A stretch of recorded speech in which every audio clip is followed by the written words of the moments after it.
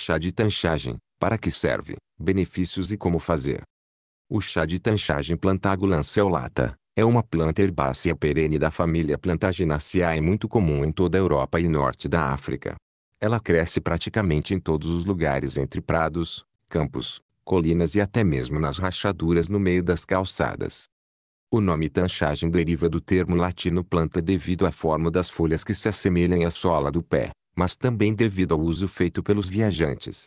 Eles costumavam aplicar folhas frescas diretamente sobre a pele danificada do caminho ou usá-la como um antídoto para picadas de cobra e escorpião.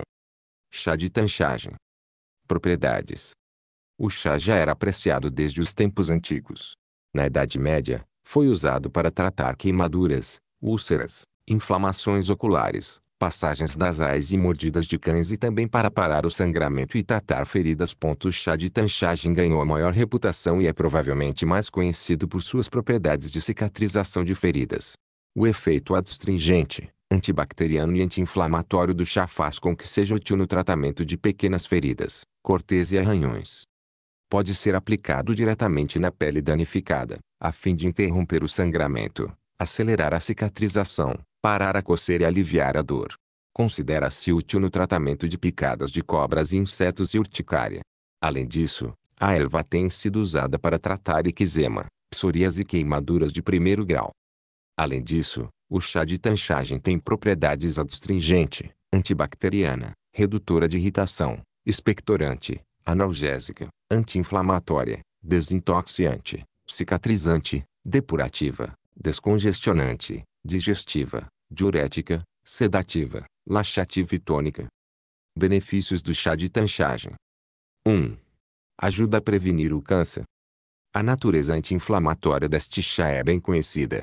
Isso permite que ele funcione como um agente anticancerígeno e antitumores também. Ele diminui e reprime o crescimento de células cancerígenas e tumores, sendo assim bastante eficiente em aliviar e prevenir a propagação desta condição maligna. 2.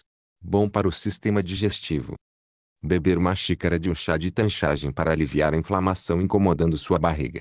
Ele também ajuda a melhorar o fogo digestivo e até mesmo combater problemas de constipação de maneira saudável.